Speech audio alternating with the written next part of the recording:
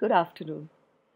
This week I've been working with my children on reading dialogue and being able to take a poem and pass it out, parcel it out. So you find the dialogue, you find the narrative, you find vocabulary words that you don't know the meaning of. You look for uh, which pronouns belong to which characters and, um, and, and basically find the story.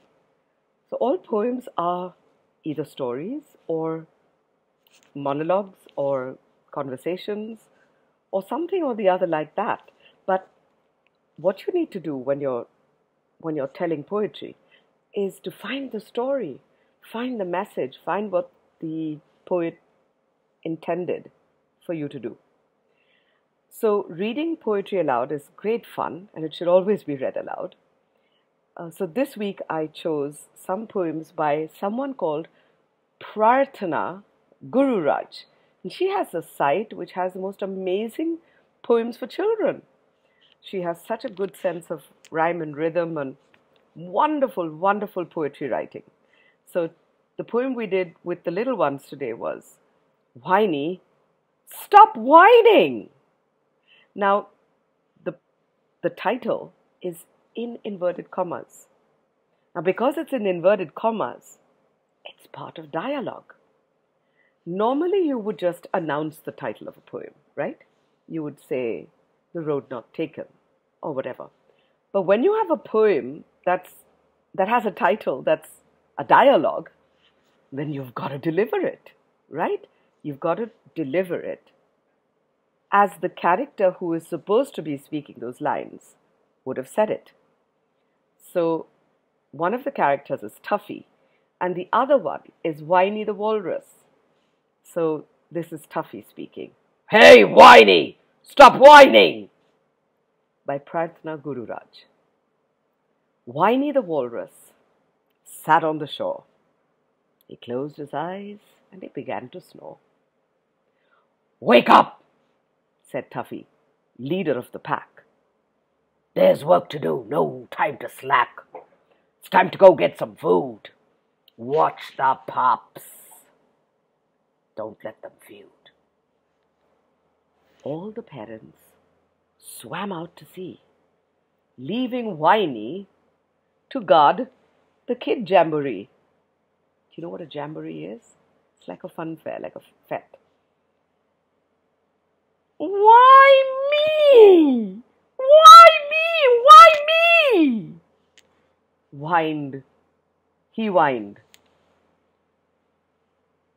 Then he started to doze as they sang and rhymed. As he snored, they played away, swimming into the sea from their little bay. Oh, what do you think would happen now? do you think it's safe for children to to leave their safety and go out into the into the street or into the sea? It isn't, is it? And what sort of babysitter is he? What would your parents have said to your nanny if she fell asleep and all of you wandered out of the house and walked down to the to the pavement or something? Geez, let's see what happens.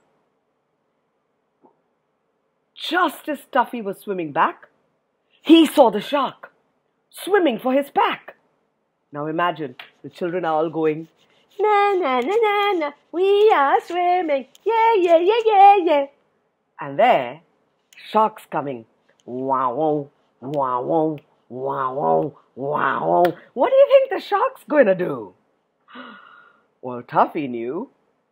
He saw the shark swimming for his pack he must have swam as fast as he could. Whoa, whoa, whoa, whoa, whoa, whoa. And must have punched the shark and made the shark run away. He gathered them up and saved the day. The pups were safe. Back in the bay. Now, what do you think Toughy and all the parents would have said to Whiny?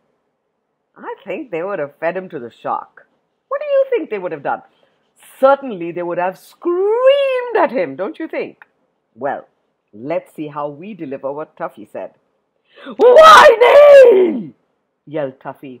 You've gone too far! Not doing your job? That's just bizarre! Constant whining. It's a poor excuse. So stop whining and be of use. There's no room for whiners in a team. When you're happy, working is a dream. Do you think? Do you think? Um, do you think Toughy would have done it like that? Do you think Toughy would have um, yelled like that, or do you think Toughy would have been more polite? Well, if I was Toughy, I would have yelled like that. I would have been like, Wah! like I would. I mean, he almost got all the children eaten. I mean, think of that. So I don't think Toughy would have said, "Why me? you've gone too far. Not doing your job? That's very bizarre. Constant whining is a poor excuse. So stop whining and be of use. Do you really think he would have said it like that? I don't think so. I think he would have been fuming and sputtering and spluttering all over. That's probably what he would have done. That's what I would have done, right? He's not going to phrase his words and speak politely and stuff. He's just saved all the kids, all the pups, the, the walrus pups, from the shark. Jeez. And then what he tell Whiny? There's no room for whiners in a team. When you're happy, working is a dream. Whiny was quiet as everyone stared. I mean, everyone must have been really bugged with him, don't you think? No more whining, he declared. So today we had, we, yesterday we had a bit of a discussion about who this he would be. Now, the rules of grammar say that if there's a pronoun like he, she, they, them, me, you, us, then that pronoun belongs to the name, the character whose name is just before it. So in this case, it says Whiny was very quiet as everyone stared. So I think the he declared was Whiny declaring, don't you think? I don't think it was Toughy declaring that. Because then they should have said, no more whining, Toughy declared. Right? Because they earlier they've said Whiny was quiet. Well, we, we're going to have to ask Prarthana because we had a bit of a, a, a disagreement there. Some children said, no, no, no, that's got to be Toughy. I said, no, no, no, I think it's got to be Whiny. And we, we decided to, we agreed to disagree. So if you have any ideas, let me know what you think. All right? Okay, wonderful. Did you like that poem? Mm, I thought it was a great poem. Prarthana Gururaj, well done. Thanks for sharing. Uh, do, yeah, do, do, do follow and like and whatever else. Thank you so much.